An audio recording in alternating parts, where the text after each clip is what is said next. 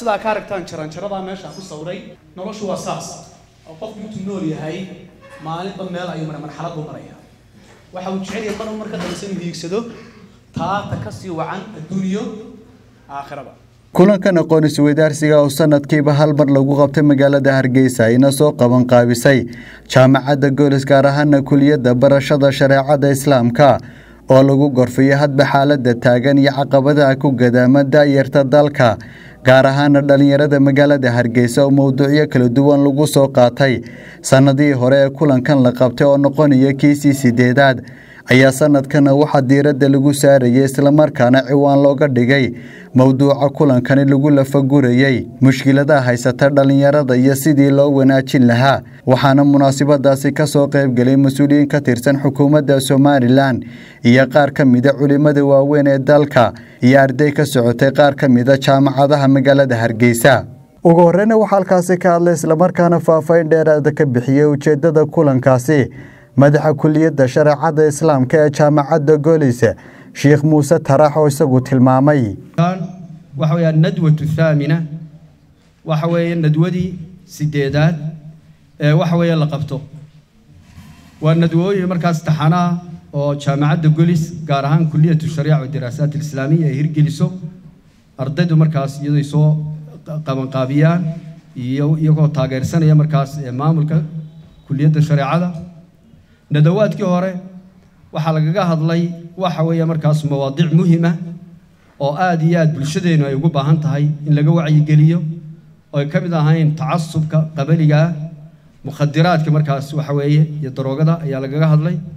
Waxaa lagaga hadlay markaas mawaaqici tawaasul ijtimaaci social media waxaa la yidhaha iyadoo markaas halkii laga sii socdo ayaa hadda nadwadan waxaa la doortay mowduuc aad iyo aad muhiim u ah waa mowduuca markaas ku saabsan mushkilaat ashabaab wa cilaajuha dhallinyarteenna mushkilaadka iyo dhibaatooyinka haysta iyo xalinteeda iyo daweynteeda sidoo kale iyaguna waxaa halkaasi ka hadlay guddoomiyaha guddida wanaag fadhiista iyo xumaan rabiista ee gobolka murudijeec sheekh ismaaciil iid iyo mid ka mid a ardaydii kulankaasi soo agaasimay muxaadaraadka noocan oo kale ah inay aad iyo aad u farabadiyaan xidhiir badanna inaan annagu insha allahu tacaala wada yeelanno.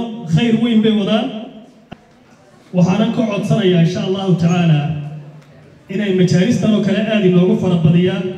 Marka nadwada la qabanayo ardaydu waxay samaysaa daraasad bay samaysaa. Sanadkaa waxa ugu hawsha badan iyo mushkiladaha dalka ka jira khaasatan iyo magaalada hargeysaba oo aan aad iyo aada ugu mahadnaqayaa ardayda guudaha inama iyo hablaba ka soo shaqeeyey barnaamijkan dhinaca kale iyaguna waxaa halkaasi ka hadlay agaasimaha guud ee wasaaradda dhallinyarada iyo ciyaaraha somalilan maxamed cabdilaahi siciid iyo sheekh cabdilaahi xaashi barbaraawi sheekh axmed iid oo iyaguna dhallinyarada barata shareecada islaamka uga mahad celiyey kulankaasi ay soo agaasimeen aad iyo aad baa culimmaduna way ku mahadsan yihiin. Muxaadaradan iyo wacdigan ay qabanayaan ee u samaynayaan daayarta dalka. Runtii waa shaqadiina loo igmaday ee ay ahayd in anagu in badan qabanno culimmaduna waa ay ku mahadsan yihiin sida ay uga qayb qaadanayaan ka wasaaradahaan waan idinla shaqaynaynaa wixii aad nooga baahataan taageero iyo talabo waan idin siinaynaa waan idin soo dhaweynaynaa marxalada dhalinyaranimo waa marxalada ka bilaabanta qofku markuu qaan gaadho dhammaatana marka uu afartan jirsado sida loo badan yahay wey waa marxalada ugu qiimaha badan. Ee rasuulkeeni maxamed calayhi salaatu wasalaam qiimaha ay ku leedahay qofka bani aadamka noloshiisa aada u muujiyey. Si gaara qofka in loo weydiin doono waxa uu ku baaliyeeyey buu rasuulku calayhi salaatu wasalaam sheegay.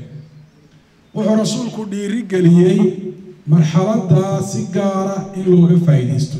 Daayartu iyo barbaartu rag iyo dumarba waa lafdhabarta iyo udubdhaxaadka ummadi ku istaagto ee ay ku horumarto waa sirta guusha ay gaadhi karto ummadi waa da'yartoodu hadba sida ay noqdaan. Hagaagoodu waxa uu ka turjumayaa hagaagga iyo horumarka ummadda. Sidaa darteed ayaa gaaladu markay fahamtay halka sirtu ay ku jirto iyo horumarka ummaddu. Waxay culayska saaraan halkaas siday u hallayn lahaayeen geesta kalena halkaasi waxaa ardaydii kala duwana ee ka soo qayb galay. Ay su'aalo la xidhiidha mowduuca halkaasi ku weydiiyeen. Culimmadii kala duwana ee kulankaasi ka soo qayb galay. Cabdiraxmaan cabdilaahi fantastic ariel t v hargeysa.